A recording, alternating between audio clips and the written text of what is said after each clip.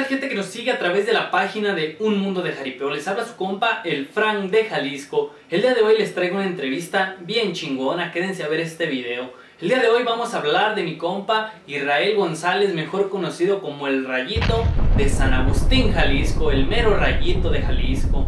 Entramos un poco más a, a fondo de lo que es su vida personal, su vida en el jaripeo de antes y en la actualidad. Así que vamos directo con él a ver qué nos dice.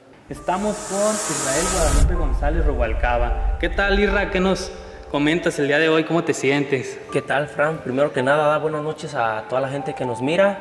Y pues, Akira, un poco nerviosos para, para lo que viene siendo como tipo entrevista. Una tipo entrevista, un recordatorio de tu personalidad. ¿Nunca te han hecho nada así? La verdad, no, nunca. ¿No? Nunca. En el, en el tiempo que duré como jinete, pues sí eh, en el mismo ratito de la monta y eso, pero con la adrenalina y todo, unas cuantas preguntillas, pero, pero hasta ahí. Así es, Rayito. Bueno, pues sabemos en la actualidad que tienes dos hijas. Así es. Así te ha tratado la vida con dos hijas. Así es, hasta ahorita. Y creo que pues nada más esas dos. Con esas dos nada más. ¿Y Sí, cómo con- se llaman tus hijas? Eh, tengo dos, una, eh, la más grande se llama Alison Guadalupe y la más pequeña Ángela Saraí. Oh, qué bien. Por ahí las hemos visto también acompañándote en algunas ocasiones, ¿verdad? Así es, eh, muy poco. La, la más pequeña sí es así, más, más seguido me quiere seguir a los jaripeos, pero ya la más grande ya no. Ya no le gustó. Esa se, se metió pues como a, a otro rollo, ¿verdad? Eso sí. O- o- otro tipo de ambiente que no, no le gusta. Ya quisieras que ni, ni aquí en el pueblo, y eso es muy poco que, que quiera salir con, conmigo, con su mamá tampoco. No le gusta el jaripeo. No, Y pues, eh, volviendo un poco a lo tuyo, retrocediendo en el tiempo, ¿cómo empezó tu gusto en el jaripeo? pues, ¿qué te podré decir? No, pues ya, ya varios años que, que yo ando más que nada me, con Emma, Emma de Jalisco, un jinete muy conocido por, pues, por mucha gente en, el ámbito del jaripeo. Eh, gracias a él yo, fue que yo me hice jinete.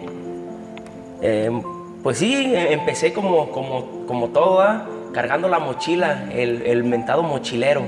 Así es, Así. todos inician desde abajo. Así Entonces es. él te empezó a llevar a los jaripeos o tú te le arrimabas a él. Mm, De hecho, pues él, él me, empezó, me empezó a invitar. Vivía a la vuelta de la casa con mi mamá y yo con él pues fue que me empecé, que me empecé a juntar para lo del jaripeo y eso. Ya salidas que, que hacía él fuera, me invitaba, a veces, a veces mi mamá me dejaba, a veces no. Y una que otra pues me le escapaba también, edad para irme. Así es, la casual de los jinetes que, que se pelan de las mamás. Así es. ¿Y cómo piensas tú que, que fueron los inicios? ¿Fueron fáciles, difíciles? Pues mira, te diré, eh, en el tiempo que, que yo me inicié como jinete, a lo mejor pudo ser un poco más fácil que ahorita, porque antes no, no, había, no había muchas ventajas en los jaripeos. Ahorita ya está muy, muy cambiado, tanto como con los ganaderos. Eh, ahorita ya mucho toro muy bueno, ya cualquier, cualquier ganadero trae mucho toro bueno. Eso sí, hoy en la actualidad es muy diferente al jaripeo que te tocó vivir, pero... la verdad que sí. Pues la verdad que al final de cuentas es jaripeo, nos gusta y ¿tú qué piensas del jaripeo actual al de hoy? ¿Cuál piensas que es un poco mejor? Pues para mí, pues a, a mi gusto, a mí me gustaba más el jaripeo de, de mi tiempo. ¿Por qué? Porque ahí mm, nadie te, te revisaba tu herramienta. Tú montabas bien confiado porque tú traías tu herramienta. Y ahorita pues ya más que nada, bueno, ya también ya está cambiando mucho porque antes eran unos pretales muy anchos los que, los que usaban los ganaderos. Ahorita ya no, es un pretal más decente, pero también ya te obligan a usar una espuela pequeña también. Y obviamente pues mucho toro bueno, lo que se está usando ahorita mucho es el toro americano. Así es, hoy vemos toros americanos. Eh, son un poco más lucidos, pero menos resistencia en el reparo es lo que hemos visto hoy en día, ¿verdad? Así es, lo que tiene un toro americano, a mi, a mi ver, es que los primeros reparos son los fuertes. Así es. Ocupas de aguantarle los primeros reparos, que, que es su fuerte del toro, y ya aguantándole los primeros, pues ya te, te la llevas un poco más, más fácil. Un toro mexicano yo pienso que es más fulminante, ¿no? Así es, eh, más rápido y, y más que nada el cuerpo, porque ahorita un toro americano obviamente es corpulento, grande, fuerte, y un toro, un toro mexicano, en, en el tiempo que yo montaba era raro que vieras un toro grande, era mucho toro chicualón, longanito, difícil. difícil de hacerle la queda. Así es. ¿Y qué ganaderías tú piensas en su momento que fueron así como las más reconocidas que llegaste a montar? Pues en, mi tiempo de, que yo anduve de jinete, pues me, tocó montar, pues sí, un sinfín de, de ganaderías, selección michoacana, destructores de Memo Campo, eh, Rancho La Canela, no, no, bastantes, bastantes ganaderías, sí. Hablando de los destructores de Memo Campo, por ahí yo también recuerdo haber visto varios videos tuyos. ¿Qué nos puedes decir de esta ganadería en aquel entonces, volviendo al jaripeo de antes? ¿Qué, toros montaste tú y qué nos puedes decir de ellos? Eh, toros que yo monté de, esa ganadería en aquel tiempo fue cuando traían, bueno, me, tocó montarle a un toro de, nombre El Terrible, me tocó montarle un toro que se llamaba el Casanova, eh, ¿Qué otro toro? El astuto también me, tocó montarle. Eh, el invasor. ¿Qué otros? No, pues ya varios años que se me olvidan los nombres, pero sí también le monté en varias ocasiones. Eso sí, fue una ganadería muy reconocida, hasta la fecha se ha mantenido y sobre todo con muchos toros y muy amplio espectáculo en sus corrales, ¿verdad? La verdad que sí. Eh, muy poco, muy poco dura con, un toro de, renombre, porque lo que tiene esa ganadería que, va renovando, que, creo que es lo que la gente, el público más que nada quiere ver en una ganadería, no siempre verle los mismos toros. Así es.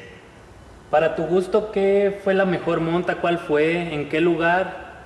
Y alguna que recuerdes así muy en especial, para tu gusto. Para mi gusto, no, pues en sí hubo Hubo varias, eh, más que nada en Autlán de la Grana, en, el famoso carnaval. Ahí sí, que yo recuerde, fueron varias, varias montas que, que me gustaron. Que una fue en, un torneo que, que, se realizó también ahí en Autlán. Eh, mucha gente dijo pues que, que nos habían robado el, el, gane, que porque la monta que, que yo realicé fue de las, de las mejores a comparación de la que ganó. ¿Y ese torneo qué implicaba? ¿Eran cuántas ganaderías? Eh, creo que fue para los inicios de que empezaron a hacer los torneos ahí en, en Autlán, pero todavía no, no, se destapaba pues como ahorita. Como un premio o algo Exactamente. Más que nada el prestigio. Creo sí, sí, sí dieron un premio, pero la verdad no, no recuerdo cuánto, ¿Cuánto, era? cuánto dieron, pero sí, sí premiaron. Un premio. Creo fueron 24 ganaderías esa vez Casi, casi igual pues al rey de México. nada más que, en, sus inicios pues. En sus inicios que empezó a que empezaron a hacerlo. Hacer sus torneos. Así es. Y para tu gusto, ¿cuáles son las mejores plazas que, llegaste a pisar o que consideres así las mejores para ti? Pues mira, eh, varias. Me, tocó montar en la Monumental de Morelia, me, eh, me tocó montar en el Relicario, eh, una plaza muy conocida en, Tecomatlán de Osorio, Puebla, y pues en Autlán, una plaza que también es muy conocida por mucha gente. Muy conocida cada año con su carnaval y por ahí te vimos muchos años también en esa plaza. Sí, sí, así es, tuve la dicha de, de estar pues entre los jinetes que año con año participaban en el carnaval. Hoy en día para todos los jinetes sabemos que es como la meta, ¿no? Llegar a, montar en esa plaza, es como un sueño, ¿no? Así es, sí. Aunque ahorita pues ya está un poco más, más fácil, porque en aquel tiempo había, ¿cómo te diré? Como mucha, ¿cómo te puedo decir? De que no cualquier jinete podía entrar ahí a, montar en esa plaza. Eh, en aquel tiempo eh, los, los, comandantes de, de cuadrillas seleccionaban a los jinetes eh, con 3, 4 meses de anticipación para el carnaval, los empezaban a seleccionar.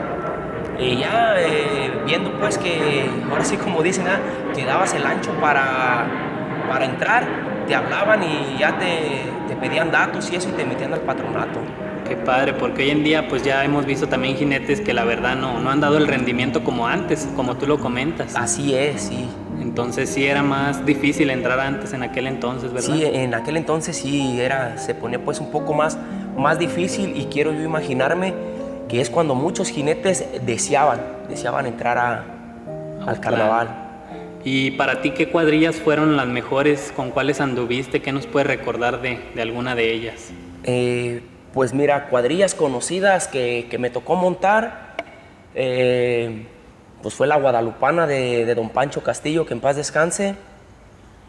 Fue la espuela de oro de, de don Pepe Castillo, eh, la jefe de jefes de, Leobardo Mesa,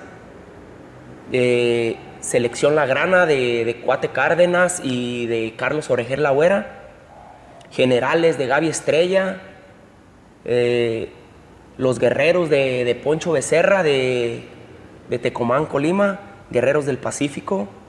Y pues cómo no, los nuevos, los, perdón, los elegantes de, de Manuel Salas Elema. Los elegantes, así es. Eh, la cuadrilla La Guadalupana para mí fue una de las que yo alcancé a recordar más recientemente y fue una cuadrilla muy respetada, muy conocida por todos lados, ¿verdad? Así es, sí, fue una de, de las cuadrillas que en su momento, como lo dicen, muchos ganaderos se ponían a temblar cuando, cuando topaban con esa ganadería porque traía, traía jinetes de, de buen nivel que era raro, era raro que le tumbaran dos, tres jinetes a, a, esa palomilla. Bueno, y volviendo al tema de Emma de Jalisco, por ahí vemos también que pues fue cuadrillero, fue jinete, eh, fue dominante de los dos estilos. Desde, ¿Qué nos puede recordar? ¿Alguna jugada en especial con él que tú hayas vivido cerca de él? No, pues sin fin de, de jugadas. Muchísimas. Sí, la verdad que sí, muchas jugadas. Muy bueno, muy bueno a sus dos estilos. Eh, la verdad, a mí me gustaba más como, como montaba de grapa, al estilo Colima. Eh, siempre me gustó verlo montar de grapa. De lazo muy bueno, muy seguro, pero para mí me gustaba más verlo montar de grapa. Era muy espectacular al estilo Él Colima. Sabía exactamente, sabía, sabía lucir los toros. ¿Y a ti nunca te dio por montar al estilo Colima? Era, una vez me, me tocó montar una vez en, en, la manzanilla, en la manzanilla de La Paz. Eh, anunciaron pues cierta ganadería que en su momento se tuvo un percance y no alcanzaron a llegar los toros. Y pues ya estaba, la plaza, pues ya a punto de comenzar la jugada cuando de repente anuncian, pues ¿saben qué? Pues que no llegan los toros. No sé si la gente se, se quiera quedar, van a arrimar ahora sí que becerros, vacas, lo que sea para sacar la, la jugada. Y ahí el, el, ganadero dijo, ¿saben qué muchachos? Yo traigo los becerros, obviamente no son, no son de juego ni nada. Quiero que los monten, pero con, con espuela charra. Y ahí me, me, entró la espinita y dije, pues a ver, vamos calándole a ver qué se siente al montar de grapa. ¿Y cómo te sentiste? ¿Fue, ¿Fue fácil o no fue fácil? No, la verdad, la verdad que no. De ahí no quisiste volver a saber fue, de la Fue grapa. la primera y la última vez que monté de grapa, porque... Y fue un toretón, un toretón pues no, no macizo ni nada, pero como fue mi primera vez, al día siguiente no, no aguantaba mis, mis brazos bien aporreados que los traía. ¿Y cuál te latió entonces siempre? ¿El estilo de lazo? No, Totalmente. El estilo, sí, el estilo de, de, lazo.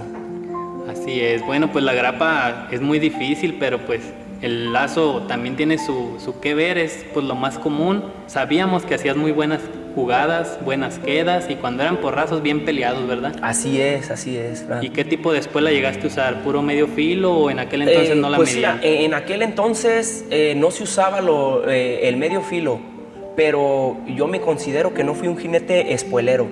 Eh, usé una espuela pequeña y, y no, no, muy enganchada. Obviamente para no, no arriesgar una pegada en un toro. Por ahí también platicando alguna vez comentamos que si pensabas algún día hacer tu despedida y por ahí me comentaste algo, pero ¿qué piensas? ¿Seguirías en ese plan o, o, por el momento nunca te ha pasado por la cabeza? Mira, eh, sí, me lo han, sí me lo han ofrecido muchas veces, que, que si no quiero hacer mi retiro, pero me ha tocado mirar a muchos jinetes que, que anuncian su, su, despedida de los ruedos y la verdad no, no les va nada bien. No les va nada bien y pues yo prefiero mejor mejor que quede. Conservar lo que se hizo. Exactamente, dejar, dejar el nombre de, de, Rayito de San Agustín donde quedó. Y ya hoy en la actualidad, fuera de los ruedos, fuera de todo eso, ¿qué pensamientos tienes de la vida? ¿Qué, qué te dejó el jaripeo para ti? ¿Cómo, cómo te sientes ahorita después de, de todo llegar a los jaripeos y ver ya de fuera el jaripeo? Pues lo crees que aún hay ganas, pero no, yo siento pues que ya no, no me siento competente pues a, para montar la calidad de toros que hay ahorita.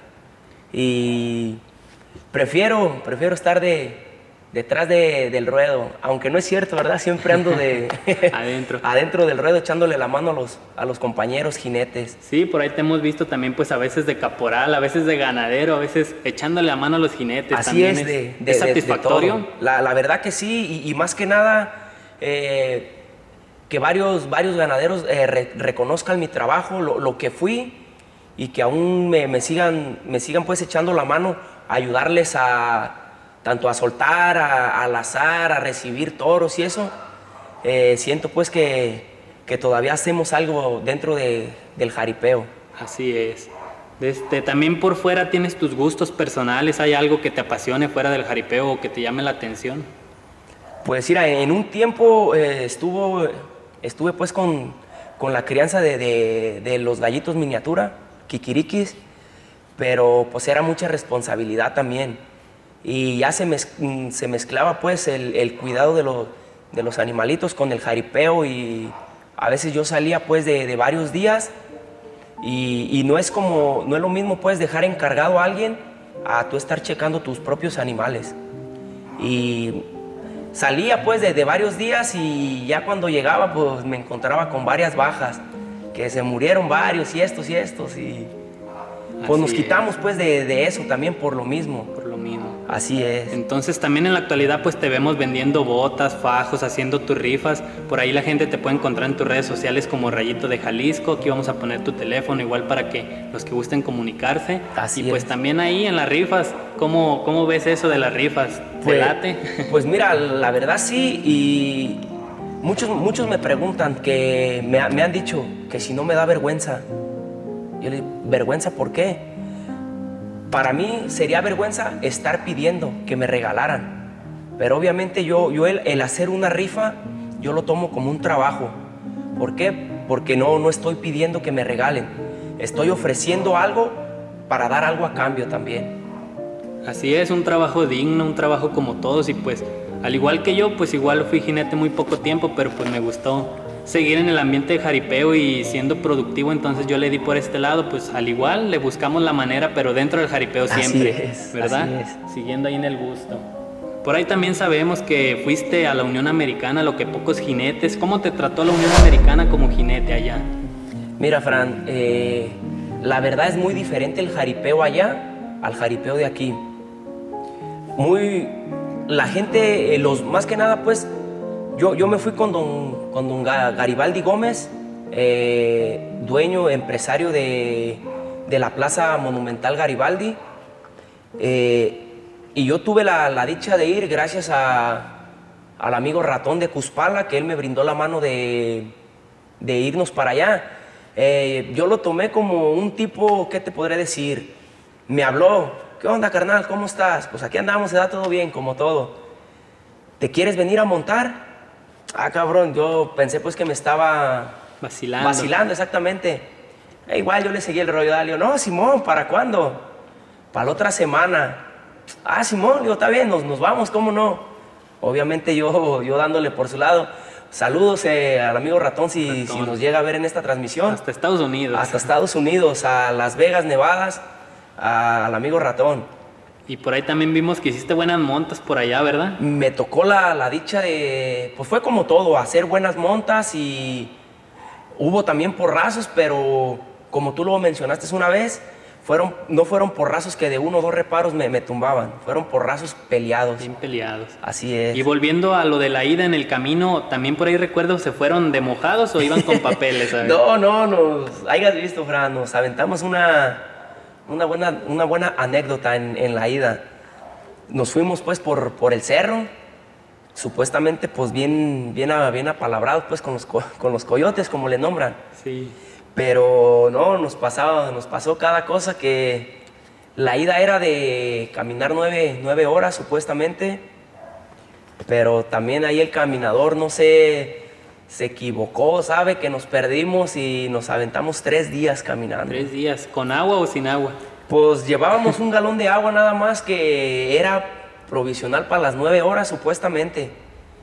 Y pues ya de ahí, en- con- tomábamos agua de donde encontráramos, la verdad. Entonces sí fue muy difícil llegar hasta allá. La verdad que sí, fue, fue una, una caminada muy pesada eh, y no la siento pues yo pesada como otras gentes que me toca ver que se van por el desierto, pero lo que nos pasó a nosotros pues sí fue algo, algo difícil también. ¿Y después de todo eso crees que valió la pena para ti la dicha de estar allá y montar allá? La verdad que sí, Fran, me, me gustó mucho, es muy diferente pues estar allá, tanto la gente, eh, la ciudad, todo, todo muy, muy diferente. ¿Y los bailes son más llamativos allá o es más calmada la gente allá en los bailes? No, pues hay de, hay de todo, Fran, hay de, todo. sí. Eh, bien, pues, es, un jaripeo pues normal, pero pues no, no pasa de que a, más de uno se le suban las, como les dicen allá, se le suban las virongas. allá le, nombran? a la cerveza, da las virongas, que se le suban y a echar pleitos. Híjole. Pero buena seguridad, me imagino. Sí, no, eso sí, en cuanto miraba pues la que empezaban, de volada llegaba la seguridad a, sacar a esa gente que, se ponía de mala copa. No es como aquí que empieza uno y se agarran 20, ¿verdad? Pues sí, de repente, sí, pero había, había mucha seguridad. A, lo mejor en ese ratito en, lo que llegaba pues la seguridad, pero llegando y agarrando a la gente, el, el ambiente seguía, seguía normal. Y también algo que pareciera que fuera milagroso lo de tu accidente y que allá tuviste parte del apoyo ¿Cómo fue eso? ¿Nos puedes contar un poquito de eso? Mira, eh, pasó de, podría decirse de repente, yo estaba, llegamos pues, eh, montamos, podría decirse hora domingo, montamos, gracias a Dios, eh, se queda ese día, llegamos, descansamos, al día siguiente no trabajábamos los lunes, era de que todos los lunes los compañeros jinetes y amigos nos juntábamos ahí en la casa y hacíamos una botana todos los lunes, todos los lunes era de que hacíamos botana. Se terminó pues la botana y todo, ya cada quien se fue para su casa eh, a echar baño, a descansar. Y para el día siguiente, de lo único que yo recuerdo fue que desperté en el hospital. Entonces no, no supiste ni qué pasó contigo. No, eh, yo de lo único que sé pues que eh, los, los jinetes pues compañeros que vivíamos en el mismo departamento me platican, me platican cómo lo que me pasó pero pues en sí yo, no recuerdo nada más lo que ellos me, platicaron. ¿Y tuviste todo el apoyo de la empresa de allá, del señor Garibay? Exactamente, sí, eh, don Gary, don Gary me, apoyó, me apoyó en todo. Eh, una familia también a la cual le mando saludos a la señora Josefina Aguirre y familia, que también esa señora desde que llegamos nos, nos brindó mucho la mano. Eh, sus hijas, sus hijos, muy amables con todos. De hecho, cuando me pasó ese accidente, me, llevaron al hospital y me hicieron estudios. Resultó que yo tenía un coágulo de sangre al lado del cerebro. Eh, me, eh, me dijeron pues que, si me operaban o, qué pasaba. Eh, y en eso pues ya el patrón pues, don, don Gary, no, me dijo que pues sí, que adelante, que, de antemano él sabía que, que lo que yo traía no me había pasado ahí en su plaza pero como yo le estuve respondiendo pues eh, al 100, podría decirse, él me dijo que, él corría con todos los gastos de, mi operación. Porque sabemos que también fue una operación costosa que en México hubiera sido muy difícil pagar por tus medios, ¿verdad? La verdad que sí, Fran, la verdad que sí. Muchos, muchos me dijeron, dale gracias a Dios que te, que te resultó allá, porque si te haya resultado aquí, igual y aquí hasta los médicos te dejan morir. Qué difícil, la verdad. Sí. Tendrás poquita agua que me regales. Te iba a hablar y si, traemos algo para tomar.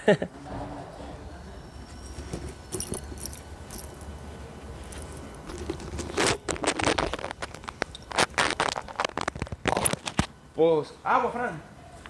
Eh, o igual si, si, si aquí al otro lado venden algo,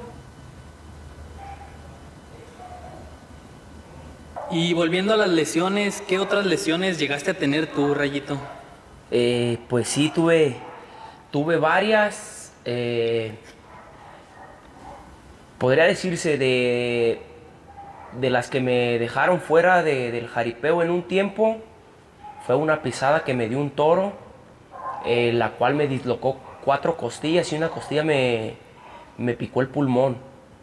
Pero pues gracias a Dios hubo, hubo eh, intervinieron pues rápido los doctores y eso y también me, me operaron y, fue una de las lecciones que, que duré pues rato, rato sin, sin, montar. Entre otras pues eh, los dedos de, de, los pies, de que se me azotaban los toros, la clavícula también. pero gracias a Dios en, en el tiempo que, que yo anduve de jinete, Nunca, nunca supe, nunca conocí pues lo que fue una quebrada tanto de manos como de pies. Gracias a Dios no, nunca pasé por eso. También sabemos que eres devoto de la Virgen de Talpa. Cada año te hemos visto por ahí en los recorridos. Sí, pues, eh, gracias a Dios, eh, cada año vamos a, visitar a la, a la, Virgencita de Talpa, nos vamos caminando. Y hablando también de las peregrinaciones, también hay una peregrinación que hacen en México de los jinetes, ¿no? ¿Te ha tocado asistir a esas? Una pura vez, Fran, una pura vez fui eh, con el amigo Justin, eh, Justin Chaparreras, saludos al amigo, eh, que nos invitó, nos hizo la, invitación que si, que si no queríamos ir a la, a la peregrinación de, la Virgen de Guadalupe. Y también aceptamos a, el ir como su palomilla, que por cierto también se me pasó mencionarlo, pero también me tocó montar con él en su cuadrilla las espuelas letales. Es una peregrinación en honor a la Virgen, pero agradeciendo la salud y, todos los golpes superados los jinetes, ¿verdad? Así es, eh, eh, muy bonita porque ahí conoces eh, muchísima, muchísima gente, jinetes, pues todo lo que se, lo que tenga relacionado con el jaripeo, Fran. Ahora sí que toda la mundialidad del jaripeo, Así es, ganaderos, jinetes, payasos, locutores, de todo, de todo miras ahí en esa peregrinación. Ahí nos tocó, nos tocó conocer también a a una palomilla que, en su momento andaba de, puras mujeres, puras mujeres que, que, montan también. De hecho, tengo, tengo pues recuerdos ahí que me llevé también a, mi niña. A mi niña en ese tiempo le, le gustaba pues seguirme mucho y me la llevé ese día a esa peregrinación. Y pues ya también en la actualidad, como tu cuadrilla, renacen ahora lo que son los nuevos elegantes, lo que eran los elegantes con Emma, ahora los nuevos elegantes. Así es, Fran, eh, le pedimos prestado el nombre a, a, Emma y pues nos dijo que sí, adelante, que lo siguiera usando. Nada más que pues yo le, le añadí el... Le modificaste le, le modifiqué poquito nada más, los nuevos, los nuevos elegantes de su servidor. Siempre hay un celo por el nombre, ¿verdad? Así es.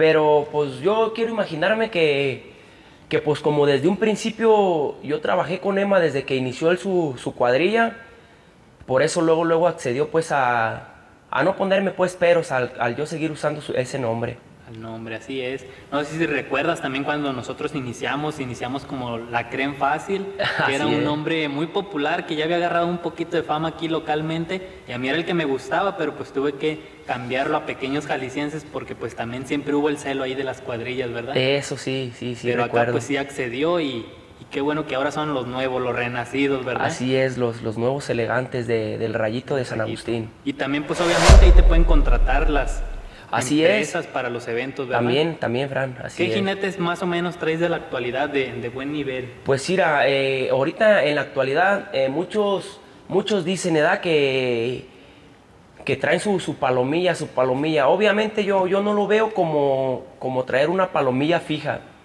porque más que nada ahorita eh, todos los jinetes, obviamente donde hay trabajo y los invitan, van a trabajar. Pero pues sí, yo, yo trato de, arrimar buenos jinetes, eh, de lo que ande pues en, un buen nivel. Y como todo, también siempre lo bueno cuesta. Sabemos que los nuevos elegantes cuestan, pero ofrecen buena calidad. Así es, Fran, así es. Barato no agarras nada. no, no, la verdad que no. ¿Por qué? Porque un jinete bueno no te va a cobrar barato. Obviamente, ¿quieres cobrar barato? Pues ¿qué jinetes puedes arrimar? Podría decir, no, no menosprecio pues a nadie, ¿verdad? Pero para dar un buen espectáculo, tú sabes que de antemano tienes que llevar un buen jinete. Y al, querer llevar un buen jinete, tienes que pagarle bien para que, para que vaya. Así es. Y bueno, cambiándole un tema ya más acá en el ámbito del jaripeo, en el medio, estando en los eventos, eh, vamos a hablar de un amigo muy especial, me imagino, para ti, de tu compadre conocido como el Güero y tu comadre Lili, unas personas que son muy amigos y los vemos muchos en los eventos. Hasta me ha tocado ver que se han sacado muchas de tus rifas, ¿verdad? Sí, así es, Fran. Saludos a mis compadres. Eh, muy buenas personas, la verdad. Que por cierto, eh, su niño, el más pequeño, eh, me eligió también como, como para ser su padrino ahora para su confirmación. Ay, híjole, ¿cuándo es la, fiesta? va a ser para el día 20 de agosto.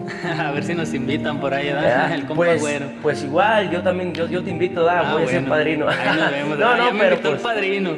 no, no, pero Estamos pues, invitados. muy, muy buenas personas, mis compadres.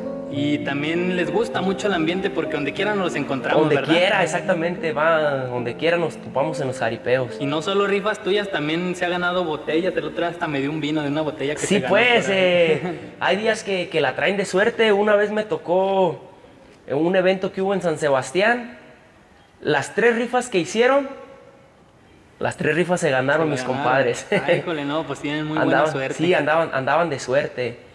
Muchas, muchas de las veces eh, mucha gente me dice, oye, es que, que échamela y que te doy, que te doy algo pues para el refresco. La verdad no, yo trabajo pues derecho y me han dicho, oye, pero ¿por qué pues ellos seguidos se las ganan?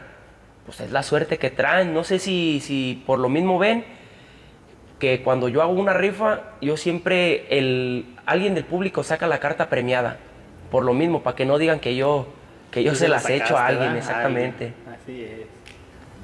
¿Y por algo en especial te escogieron como compadre o también nomás fue así de que dijeron, quiero que sea usted? Eh, pues la verdad ah, no, no tengo idea si haya sido por algo en especial, pero pues yo les agradezco que, que me hayan elegido a mí por, para ser sus compadres. Pues qué bueno, ya, ya conocimos un poquito de tu vida personal, de tu vida en el jaripeo, de tu trabajo en la actualidad, de tu, de tu ida a Talpa, de tus viajes tanto a Estados Unidos como en México. Eh, algo que quieras agregarle a esto ya para despedir y, recordarte como siempre aquí en una buena imagen que, que, como dices antes no lo había, hoy lo hay y pues más que nada es lo que algún día nos vamos a llevar, un buen recuerdo. Un buen recuerdo. Entonces algo que tú quieras agregar para que quede ahí para el recuerdo tuyo. Pues, ¿qué será bueno, Fran? no, pues más que nada agradecerle pues a, a toda la gente que, que nos apoya, porque yo lo tomo pues como, como un apoyo también. Eh, muchas gracias a toda la gente y espero que pues siga habiendo rayito para, para rato, como dicen. Así es, bueno, pues con esto nos despedimos. Muchas gracias por estar aquí, compartirnos parte de tu vida, que el mundo la conozca y pues qué mejor que el mundo del jaripeo, ¿verdad? Así es, muchas gracias al amigo Francisco Ruelas y su página Un Mundo de Jaripeo. Síganla y compartan porque esto va va para rato. Saludos al amigo Fran.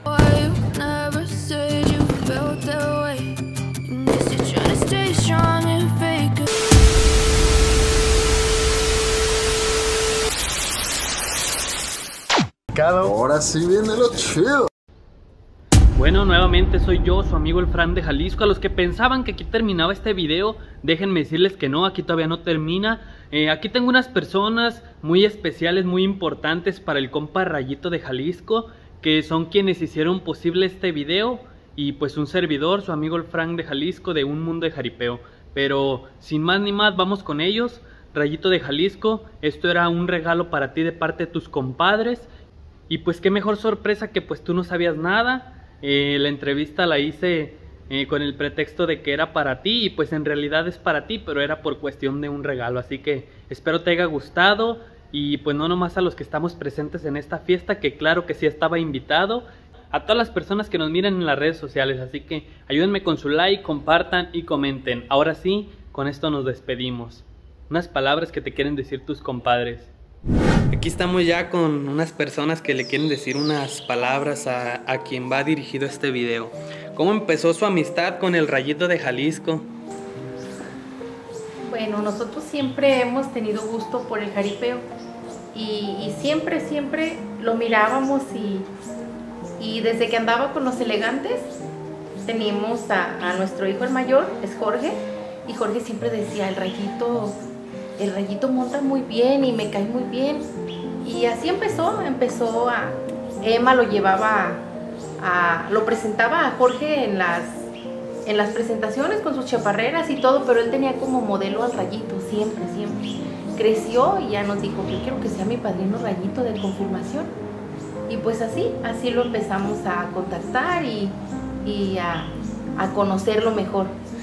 ¿Y usted, Igual compa güero? De chico, pues también se animaba mucho ahí con ellos, a ver cómo se ponían las escuelas, cómo se vestían y ya, pues nosotros estábamos pues ahí al pendiente, pero sí, se le apegaba mucho a mi compa Raya. Entonces nos comentan que tienen un hijo llamado Jorge y desde hace cuántos años más o menos empezó a llamarle la intención a él, a su hijo.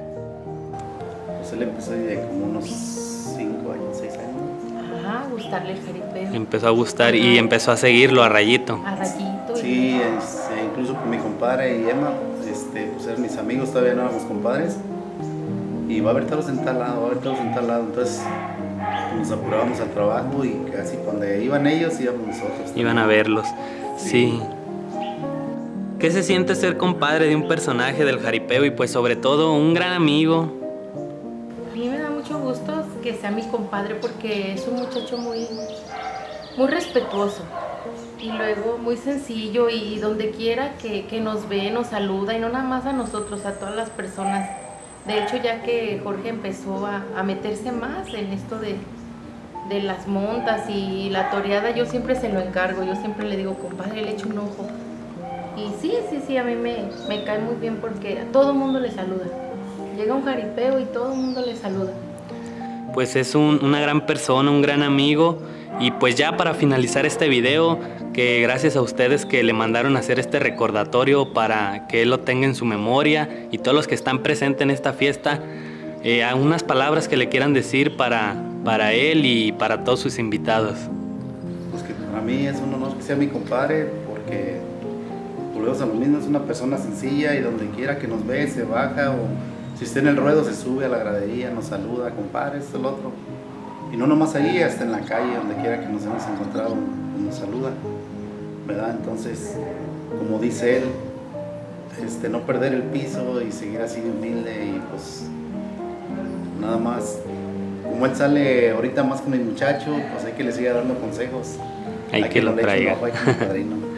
Bueno, pues ahora sí finalizamos este video y muchas gracias a ustedes por dejarle este bonito detalle a su amigo Rayito de Jalisco, a su compadre y esperemos le guste. Saludos. Gracias, gracias compadre. Gracias por todo.